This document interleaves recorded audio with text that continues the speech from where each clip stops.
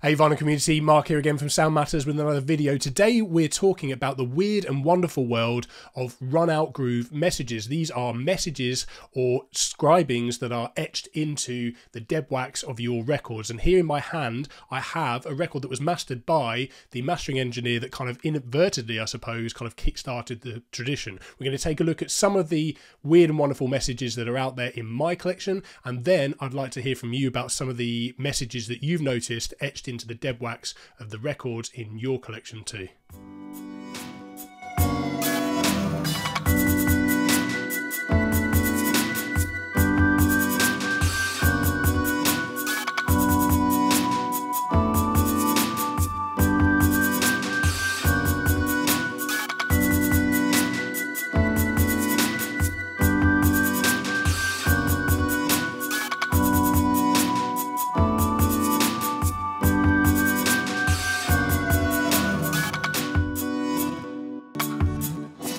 So traditionally, that space between the end of the record and the label, the run out groove or the dead wax, is usually a pretty benign space. You might find a matrix number, maybe a few digits referring to the kind of particular copy of the record that you've got. If you're lucky, there might be a signature of the mastering engineer that cut the lacquers. But occasionally, if you're lucky, you look a little bit closer and you might find some pretty unusual scribings and messages in this space. So over the years, mastering engineers and artists have on occasion used this space to kind of insert weird and wonderful messages, sometimes inside jokes, really bizarre kind of etchings that obviously mean something to the people who did it, or maybe they don't. You know, I've even seen some circumstances whereby random initials have made it on there next to the mastering engineer's traditional kind of signature. So who knows what kind of weird and wonderful messages are hidden out there in terms of the records and what they mean. Now, the original prankster in terms of this concept is said to be the legendary mastering engineer Graham Peckham, who regularly started signing his records off with his nickname Porky, or sometimes he'd write a Porky Prime Cut. One such record is this one from T Rex called Electric Warrior, which has Porky scribed into the dead wax of one side. Now, Graham Peckham eventually started taking this one step further with kind of witty jokes and remarks, often based on the lyrics of the album. One particularly eccentric example is on Elvis Costello's album, his second album here, and I'll just read from the feature I did on this topic a little while back on the website here. It said on the A side of the record, it said special pressing number three, ring Myra on 4343232 for your special prize. So allegedly the number and the contact was actually real so as you can imagine, this joke wore pretty thin at the press office after a while. So although Graham Peckham is perhaps the most famous example of etching eccentric nicknames into the dead wax of records, he was by no means the only person to be doing so, particularly during this period of music history. A couple of other notable examples that often get confused between each other because they're very similar are Bo Bill, who was Bob Hill, the legendary Trident Studios mastering engineer, and then there's Bilbo, who was Dennis Blackham, an IBC Studios mastering engineer. Now apparently Dennis was reading a lot of J.R. Tolkien at the time and settled on Bilbo as his marker, if you like. Now, interestingly, you see this etching on the T Rex single Hot Love, and that's kind of interesting because, of course, Marc Bolan was also a big J.R. Tolkien fan, inspired by him himself as well.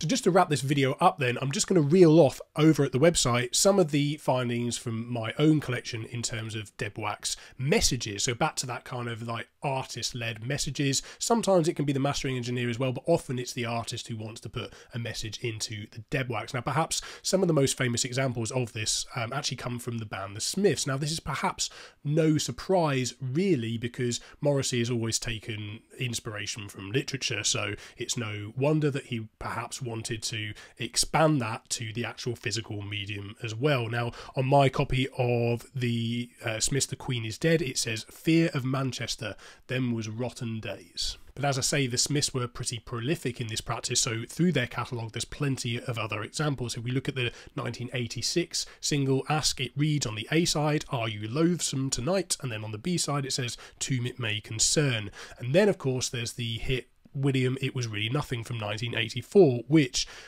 I can only imagine is referencing uh, Oscar Wilde. It says on the A side, it says the importance of earnest, and then on the B side, it says romantic, and square is hip and aware. Next up, we got an example from John Frusciante. Now, regular subscribers or readers of Sound Matters will know that I'm a huge John Frusciante fan, and I spent years trying to find an original copy of Curtains on vinyl, but unfortunately, I missed out. Now, when it was repressed in 2019, I snapped up a copy of this and was very pleased to see that there was a beautifully positive message etched into the dead wax. This was cut by Bernie Grundman, who's obviously a, a superb mastering engineer, and it says on on there says stamp where you stand on the A side, and then on the B side it says a million ways things could be. If any of you are Radiohead fans and you've got a copy of OK Computer, there's plenty of eccentric ramblings in here for you to explore, starting, of course, with the way the records are actually numbered. So instead of A, B, C, and D, each side reads eeny, meeny, miny, mo.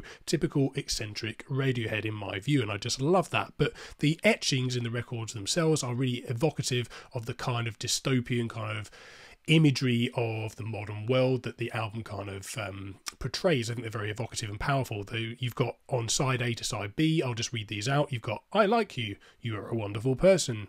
Then side B, I'm full of enthusiasm, I'm going places. And then on side C, I'll be happy to help you. And then on side D, I'm an important person, would you like to come home with me? Couple of other examples just to wrap things up then. Why don't you trade those guitars for shovels? If you can find a copy of Love Buzz by Nirvana, difficult single to find, of course, this is apparently what Kurt's father used to shout at them whilst they were practicing at their Aberdeen home there. So it's etched into that record, an interesting kind of just remark from, I guess, you know, 90s musical history.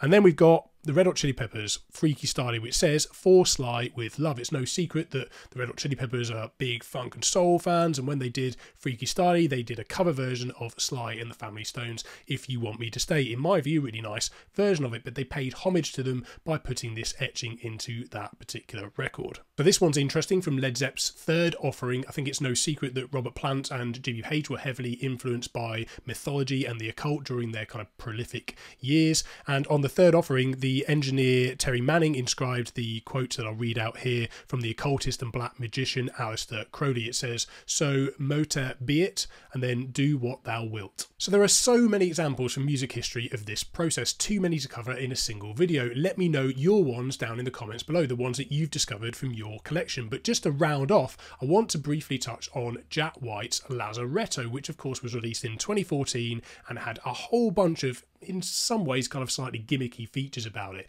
But it had one side that played from back to front. It had a hologram on one of the labels and in the dead wax. It had secret tracks hidden inside the label. It had different intros on one track depending on where you dropped the records down on the groove, and eventually the grooves would meet up and uh, and join to the rest of the song. There were so many different things they did with the format. It just demonstrated what you can do with a physical format to make it interesting and in in homage, if you like, to everything that they threw at that record, they etched kitchen sink into the dead wax of the record, which I think was a nice touch. And again, another hidden message inside a record. So that concludes today's video. Thank you ever so much for watching. I just love some of these messages that are etched into the dead wax of records and it just shows what you can do with a physical format. We've lost so much of this creativity in the digital realm, particularly in the world of streaming, that kind of what you can do with the magic of format, the creativity that can be applied to the art form. I love it so much. Just let us know what um, Run Out Groove messages you've seen in your collection down in the comments below. There's so many out there, impossible to cover in one video, but I want to hear from you you down in the comments below what some of your favourite weird and wonderful messages are that you've seen in your collection. If you're new to this channel, please do consider subscribing and we'll see you in that next video. Keep spinning.